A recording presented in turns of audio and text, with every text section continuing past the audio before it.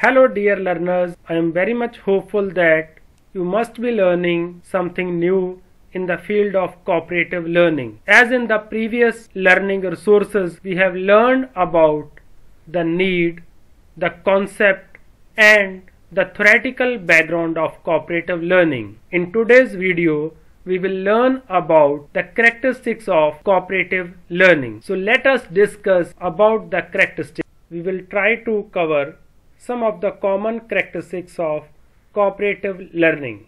First characteristic which is related to the teacher, the role of teacher.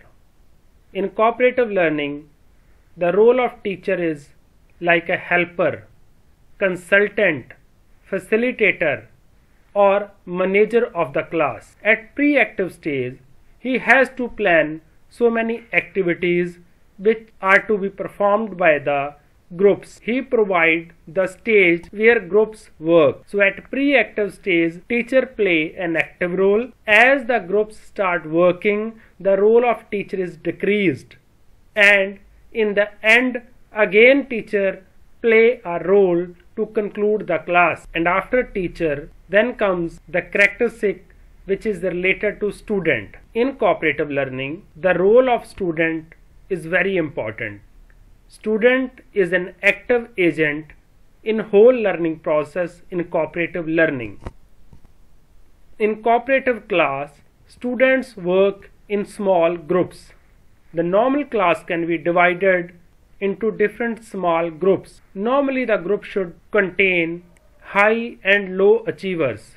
It makes these small groups heterogeneous. The group containing 2 to 5 members is an ideal group in cooperative learning. It makes these small groups preferably heterogeneous. The number of students can vary in particular strategy or method of cooperative learning as we will study about STAD and Jigsaw in module 3 and 4 and we will see the number of participants will be different as compared to the other strategies of cooperative learning groups.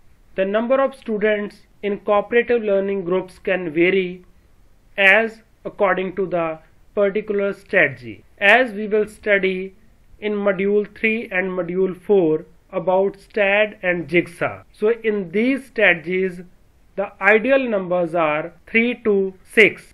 Another characteristic of cooperative learning is positive interdependence among the group members. Cooperative groups are structured in a way that students need each other's help to accomplish the common goal or task.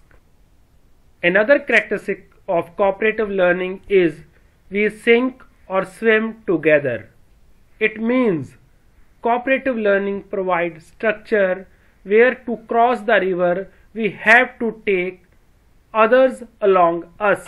Cooperative learning has a feature of shared leadership where all the participants of one group gets chance to become a leader of the group at different stages. So different members can take the leadership role in cooperative learning groups which develop a leadership qualities among the students. Along with the group work and group responsibility another characteristic which is really remarkable is the individual accountability.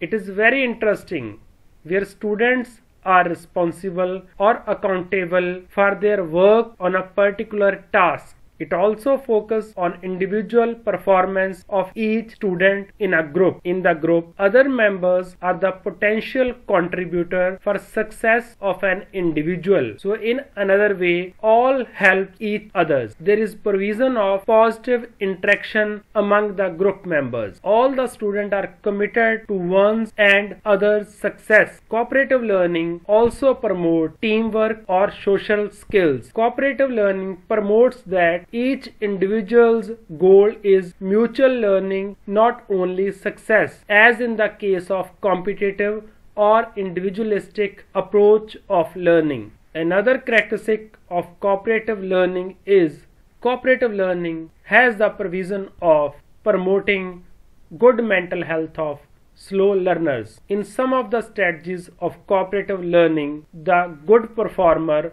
or the fast learner are also accommodated nicely. In some of the strategies of cooperative learning, fast learner or good performer get a chance to use their knowledge to teach their group members or to explain them which help to clarify their own doubts also. So these were the common characteristics of cooperative learning. In the next videos we will also learn the main elements of cooperative learning which are related to the features of cooperative learning we will learn about the elements of cooperative learning in next videos which are given by Johnson and Johnson.